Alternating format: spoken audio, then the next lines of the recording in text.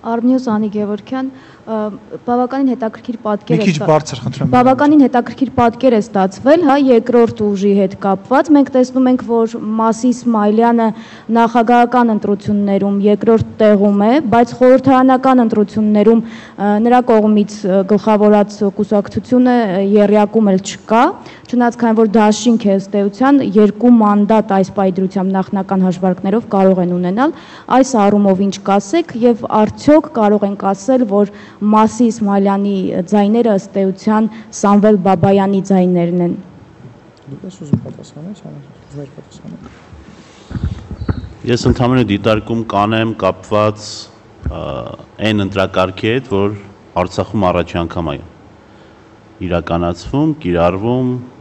ես որևէ մեկնաբանություն չեմ կարող տալ ոչ որպես դիտորդ, ոչ եղած տվյալների մավրա թե ու որ զայները ումն են եւ ինչ հիմքով են եւ կարծում եմ մեր դիտորդական առաքելության ծավալները այնպիսին են եղել, որ մեծ հաշվով այդ հնարավորությունը չեն նաեւ ամփոփել ամբողջ Արցախի համար նման գնահատականներ տալու առումով բայց մենք պետք է հիշենք այն փաստը, որ Արցախում առաջին անգամ ընտրություն են իրականացում եւ նախագահական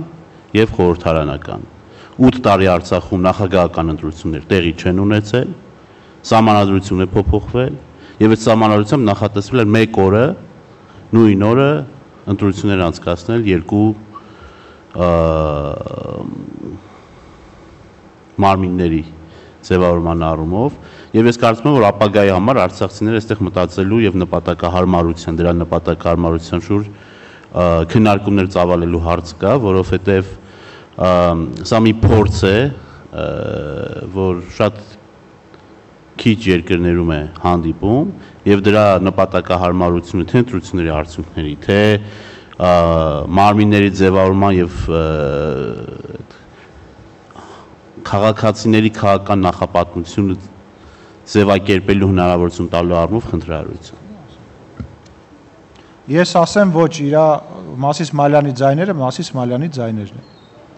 Արայիկ Հարությունյանի ձայները Իրանն են, Վիտալի Բալասանյանն Իրանն են, ամեն մեկ իր ձայներն ունի։ Այդ նույն տրամաբանությամբ կարելի է հարցնել, ասել իսկ ես լրատվամիջոցը որ հարցա տալի, այդ իր հարցնա տալիս, թե չգիտեմ, իր հետ աշխատող որևիցե մեկու։ Քաղաք որևիցե մեկի քաղաքացին գլխավորած կուսակցությունը Չեմ լսում կներեք։ Սամվել Բաբայանի կողմից գլխավորած կուսակցությունը ըստ էության երկրորդն է, եթե փնտրեք տրամաբանությունը կգտնեք։ Չէ, ես չեմ ասում տրամաբանություն չկա ձեր հարցի մեջ եւ ինչպես նաեւ չի կարելի ասել, որ իմ բերած համեմատության մեջ տրամաբանություն չկա։ Իհարկե կա այդ տրամաբանությունը, բայց քաղաքացին առավել եւս, եթե մենք խոսում ենք 26 ու 4%-ի մասին, սա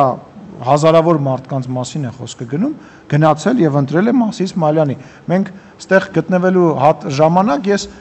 քաղաքացիների հետ ուղակի զրուցել եմ եւ հարցրել եմ, թե ում են ընտրում։ Ես տեսել եմ մարդկանց, որոնք կոնկրետ համակրանք ունեն այս կամ այն տեխնացուի հետ կապված։ Իսկ այդ մնացածը, գիտեք ինչ, կարծում եմ քաղաքական հետագա վերադասավորումների